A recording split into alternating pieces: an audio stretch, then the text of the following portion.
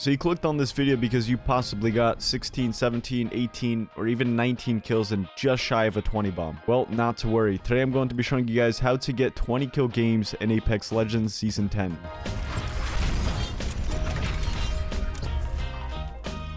Hey, what's happening, Champion Squad? Welcome you beautiful faces back to the channel. In today's video, not only I'm going to break down this entire game on plays that I make, but I'm also going to be going over 5 crucial tips to help get you your first 20 bomb game. Tips such as where to land, your weapon loadout, keeping a fast pace, and making sure to get quick and clean squad wipes on top of luck of the lobby is going to be huge. And I'm going to be breaking those down in depth throughout this entire game, so be sure to relax, sit back, and enjoy the video.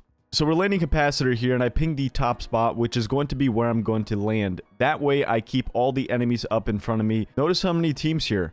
A lot of teams Wraith Labs, a lot of teams landing Capacitor. Is this a good drop? Absolutely. So when it comes to getting good drops in Apex Legends for a 20 kill game or just high kill games in general, you need to be landing local to where a lot of the teams are landing. Number one, that's going to give you early kills, free kills. And number two, your chain fights will be connected. So you're not going to have to rotate too far to find your next opponent. So do you have to land capacitor every single game to get a 20 bomb game? Absolutely not. You can go anywhere you want based on your lobby and where people are deciding to land.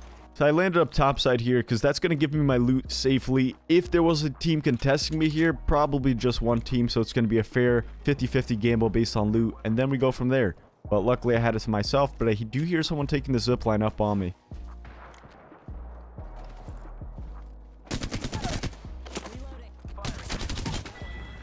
Pick up a easy on Mirage. She was already cracked. No armor there. Look at the Wraith. Go for the immediate chow. She wasn't looking at me. Ended up downing her. She had purple. Now I'm looking to get the quick shield swap. Going from a blue to a purple. Can't finish her, which is so unfortunate. I got another enemy in front of me. And you guys are not going to believe what happens in this game. So I go up and absolutely choke the zipline play trying to escape. And right now my team's nowhere near me. He's invested into this fight. Can he res? Leave in the comments right now before you even watch this video. Or continue watching, should I say. Leave down in the comments. Do I survive or not?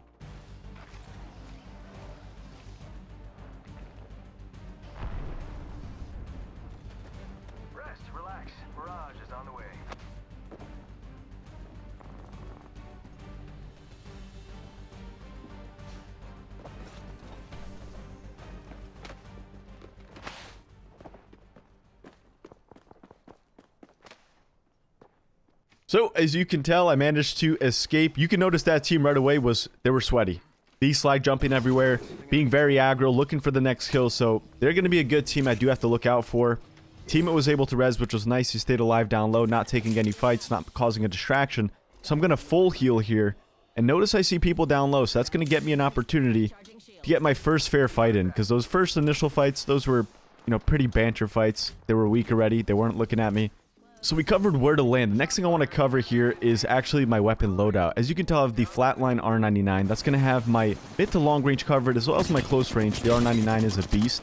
There's some good shots there. Beautiful recoil on the R99 to clean up that. That's another kill to my name. So we're sitting at 3 kills, 33 up. Now in this game, am I thinking to myself, this is a 20 bomb game right now. I have to get this. Absolutely not. I always say when you're going for high kill games or high damage games, play your intro out how it normally would be played. The beginning of the game, don't force yourself to do crazy stuff. Play it out, have a good time, enjoy yourself. Then mid-game, you want to check your stats. Let's take a look at this fight here, though.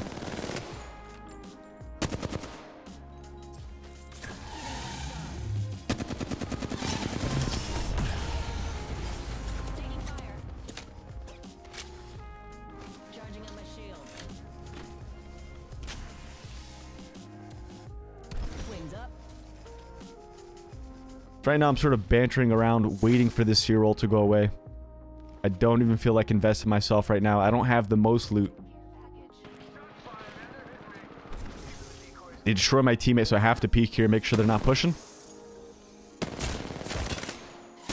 That guy's just about cracked, and I also cracked the other one. So right now, did the damage, held them off. They got the better of the exchange on my teammate, so I needed to do that crucial damage so that way they don't push. Now I'm getting a little bit more confident here, a little, little more aggressive. Absolutely destroy this here, and that's an insta push right away when you're playing duos. You only have to worry about one other person that's going to be pushing you after you make one weak. And then you can make a quick escape just like that. I get the quick knock, pick it up, then I'm off the scene, change my position. Teammate distracts fuse, and I go for that cleanup. Now we're getting third party here. Before this actually plays out, I want to let you guys know that this is crucial. When you come out of a fight, and especially when you're playing with a random teammate in duos, look at his health. He's very low. You can't probably see it from the title, but he's very low. I'm not even max HP, and now we're getting thirded. They threw a ult down. They're ready for us. What you have to do in this situation is one of two things. You're either going to run away, and that means your teammate is 100% going to die, especially if they have no mobility. Mirage, yes, he can get lucky here and there with the bamboozles, but this team's looking to get very aggressive on us right away. Popping ultimate, pushing down aggressive. So I'm going to sit here and actually deal damage. If I can crack one, that is going to be huge. I'll relieve a lot of the pressure. And that's going to help my teammate get a bat off and get him back in the fight. That's what I'm looking here. If I don't do this initial damage here, which is huge, things are going to go south very quickly. So let's see how it plays out.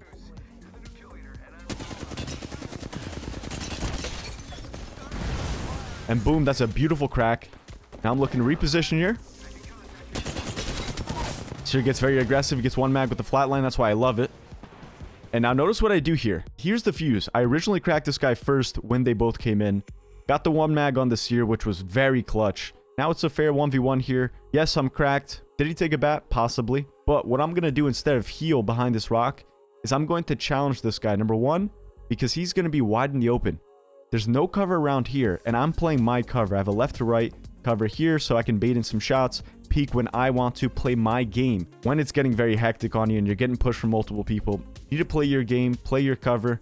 That's exactly what I did here. I'm not going to heal. I'm going to catch him out in the open here. So he's pushing up. Again, no cover whatsoever. He's getting antsy because his teammate went down, and that's a lot of the times how these lobbies go. Once you knock one of their teammates, the second one will follow up right away. They get very nervous, they get antsy, they don't want to have sort of a long extended fight, so expect early pushes right away after a single knock. Here you go, he's pushing in the open. Beautiful 140 on him, hit him with another 19. He's about 30 HP here. Go for the reach out. And that's a beautiful squad wipe. Yes, Mirage went down, but he did his thing. Helped me get the squad wipe there. We're sitting with 7 kills, 1400 damage, 26 up. Now you guys are probably thinking, is he thinking about the 20 bomb game right now? Actually, no. In this game right now, I was not thinking about it. I'm going to let you guys know the exact moment that I thought to myself, you know what, this is a 20 bomb game. Let me focus up here, get very aggressive, and really play for this 20 kill game. Bear with me, it's not there yet. But nevertheless, this is a beautiful start to the game. And one thing I want to touch on before we actually move forward is I am playing Valkyrie. And the next tip is going to be keeping a fast pace in the game. So once you wipe your squad, you need to loot quick and rotate right away. Notice where players landed originally and sort of rotate to that area. So Wraith Labs is a possible choice, but it's not in zone. So I'm going to go past Wraith Labs with this ult. And I'm playing Valkyrie, and that's going to be huge for me because then we can spend more time looting. Not that I did, but again, it's going to be good for helping my teammate rotate with me. If he spends too much time looting, I can get him over with me right away with the ult. Sort of flying into zone here, and I notice a squad down low on me. What we're going to do here since they're down low, not only am I going to take better positioning than them by getting height, but I'm also going to be gaining them out. If you look at the mini map here, I'm going to land behind them here. So that way, I'm forcing their backs to the zone when it closes. What that's going to do is put a lot of pressure on them and force them to fight in a bad angle. And that's going to help me get the squad wipe there. So I'll let it play out so you guys can see. Again, landing height, forcing their back to the zone. And go for the immediate repeak. Don't give them time to take cover. Don't give them time to take positioning and you know they're going to be close, get to the exchanges right away. Pax here, he's very low. Pick up the knock with a weapon swap. His teammates way out there. You know, if I did, if I give him time to rotate and do what he, he was going to do, they're going to start holding hands, playing cover. So that's beautiful. Catching enemies off guard, uh, not letting them hold hands together and making it a tougher fight. His teammate starts coming in. Throws a beautiful thermite on me. That was a good throw. And then I stunned myself with my own tack there, so I'm going to rip it back here. I already have one knocked, so it's not looking too bad. Push up to see if he's there, and actually, he valked out. So he made a good play. Am I going to worry about him? Absolutely not. I'm going to let him do his own thing. If anything, he's going to grab the banner and res his teammate, which is more kills, but he lands on top of the bone there.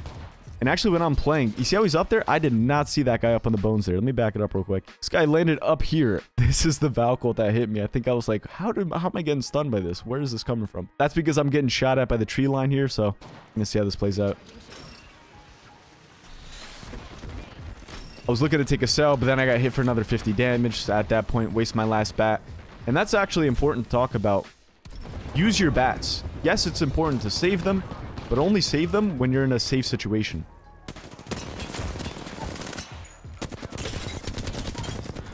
There we go. That's a nice cleanup on the Valk. That was the Valk on the bones there. So Insta died because we killed his Mirage teammate earlier. My teammate actually ends up picking up a kill too, which is awesome. Now we're sitting with 9 kills, 1900 damage. And guess what, guys? Yes, finally it's it.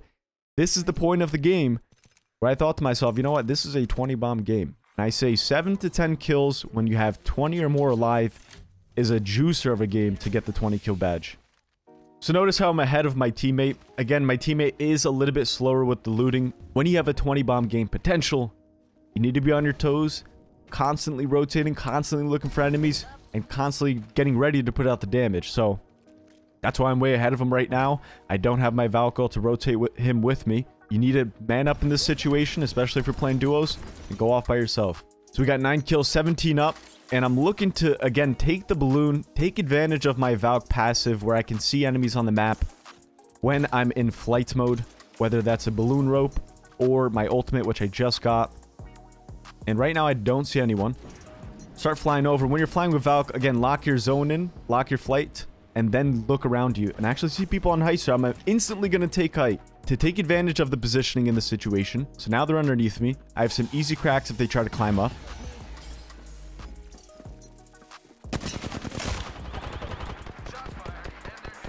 I noticed one off shooting at my teammate. That's easy shots there.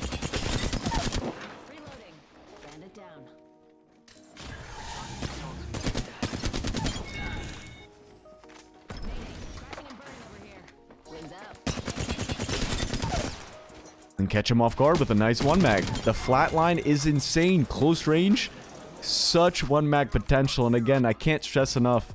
Let's go ahead and get into the next tip is making sure to get fast squad wipes.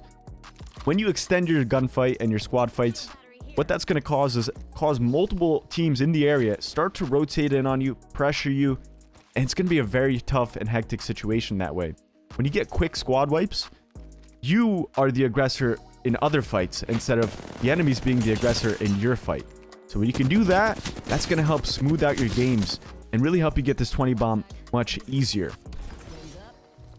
And here we go. So we had the team down low that was shooting at me. Now I'm working my way over because they are actually fighting. I'm going to go ahead and save my Valkyrie in this situation since I was pretty close already. Pick up somebody off guard in this fight, which is nice. Again, I'm being the aggressor in somebody else's fight instead of them being in my fight.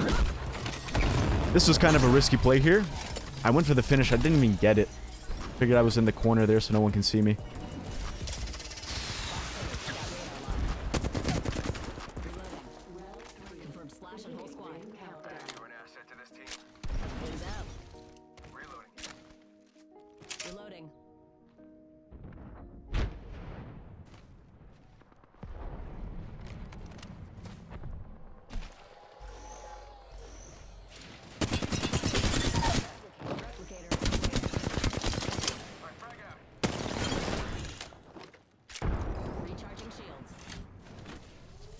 Notice how fast I'm playing here. I'm not giving them the enemies any time to think. I'm making these split-second decisions that are more in my favor. Again, that happens when you keep a fast pace and you get used to it.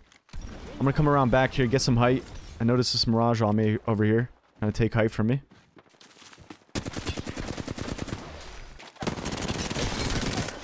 And the R99. Just doing absolute justice. Absolute God's work right there with the one mag. So we're sitting with 14 kills, 3,300 damage, 11 alive. This is looking really good. And now, in terms of my loot, I'm kitted out of my mind. I have the best loot possible. The only thing I could probably use right now is some throwables. But I do have my Valk Tack, which I sort of consider like a throwable. Because it's used in the same way. To break doors down, to zone off enemies. So with Valk, that's why I like playing her. You don't really need to carry too many throwables. So we're Valking out here. Notice someone taking the blue in front of me. Guess what? When you have a 20 bomb in your head, you need to fight and kill any enemy you see. Just because I actually said to fight anyone you see, I actually want to break down this situation because there's actually multiple enemies here You're going to think to yourself, which one should I push? Should I push the guy that landed up here? Should I push the guy that's down low? Which team should I fight? What should I do? Let's break it down. What I'm going to do here is land height. I don't want to fight the team down low because this team here, not only they have height, if I drop down, they have easy angles on me, they can insta third party me. So I'm going to land height. Then I'm going to try and work this team on the left side. My goal here is to possibly get a knock, make this team back off. This team backs off, then I have a free fight down low here. It's going to spare me more time. That way they can't third party as easily. So I'm keeping the enemies in front of me. I don't want to drop down low. They have good angles. Again, that's a bad situation. And then if this team on the bottom tries to climb up on me, guess what? They, they have horrible angles. They have to work their way up, and it's going to be easy one mag opportunities.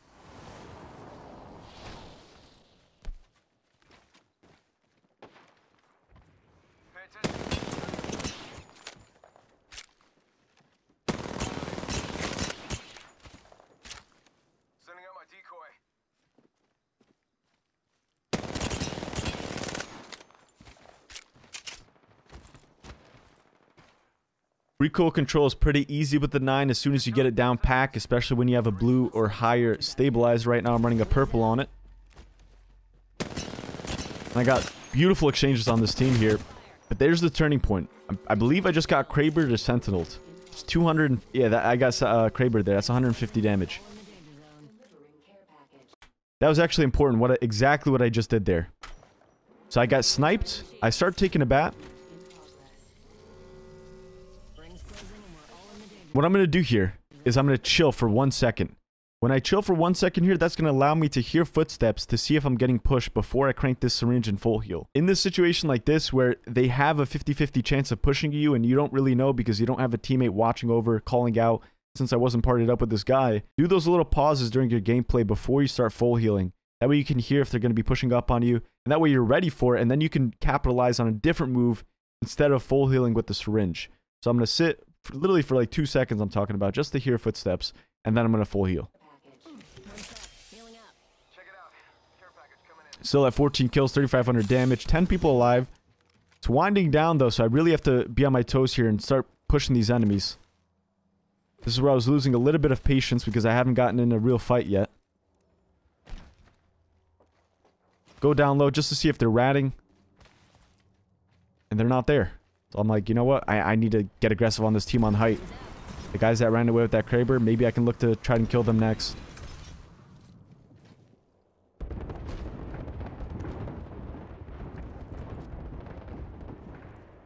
see somebody shooting from the top rock. Yep, that's the Kraber dude. That guy sniped me earlier, so I know he has a decent shot. Start hitting him. Hit him flesh there, actually, so he was getting shot from the other team as well. Now I'm thinking to myself, should I push this guy on top? Or should I just go down low and fight those people down low? This is going to be a hard push. I know this player's decent. He can hit Kraber shots. He has red armor. It's going to be a tough fight for me to take because if I try to fly up there nice and slow, he's going to be pre-aiming me and it's it might go downhill. I don't want to throw a beautiful game like that. So I'm going to let that guy do his thing, but I do have to worry about his Kraber. So if I leave him alone and he doesn't die and I work the fight down low here to my left, his Kraber is lethal. I need to be paying attention to my movement, how I'm playing the fights down there, noticing my cover around me, and trying to give this guy blind spots when I'm fighting down there. Fox 3. Visual clear. Good tone. Valk attack him, distract him for a bit. My teammate actually picks up a knock here. And we, we're fighting down low. We're getting invested here. Easier kills. It's a fair playing field. This guy's low, but I do have to be aware of that Kraber. This guy absolutely bamboozled me, hiding in the rock there. Using the decoy escape. Go for the cleanup there.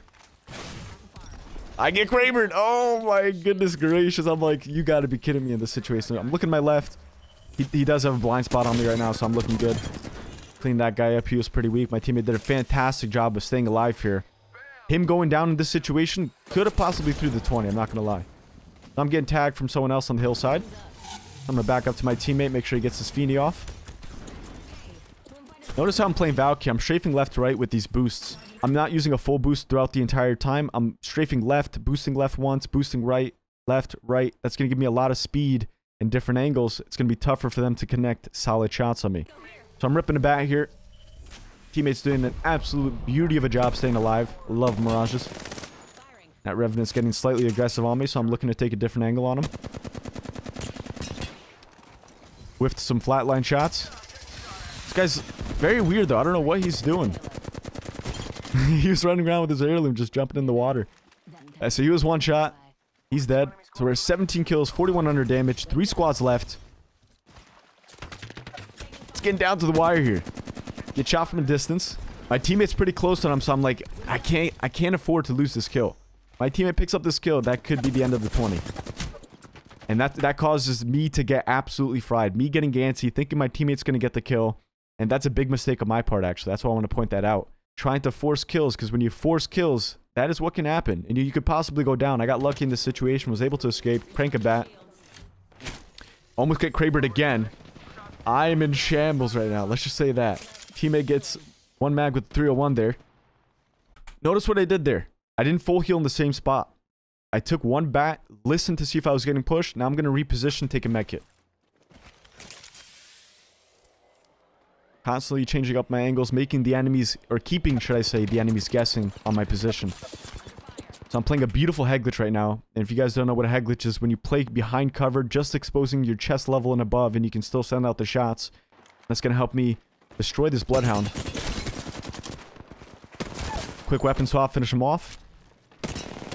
Keep that same heady. I'm not going to go for the finish here. I have some decent shields left.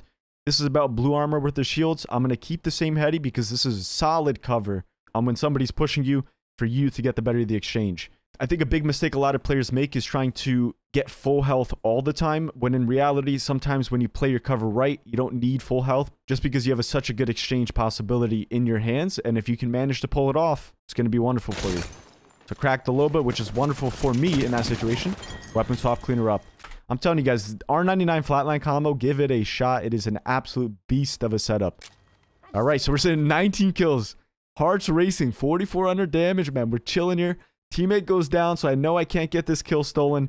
Last squad up. Right now, I'm thinking myself, is this a solo or is this a duo? If this is a duo, I do have to play it slightly a little bit more passive, maybe back up. In this situation, if I was getting pushed by two, maybe I could have valked out with the trees hiding me and then reposition from there. But I quickly want to look to assess the situation. I want to see what's going on, see how many I'm getting pushed by since it's last squad.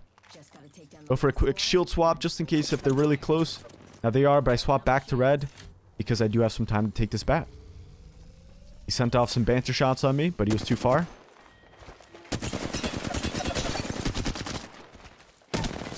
Quick weapon swap, and she had no health. So that was a phenomenal down to the wire game where I hit 20 even, about 4,400 damage, I believe, maybe 4,500. And we managed to pull it off. My first Valkyrie 20 bomb. Again, I haven't played too many games of Valk. I think I had like 300 something kills with her.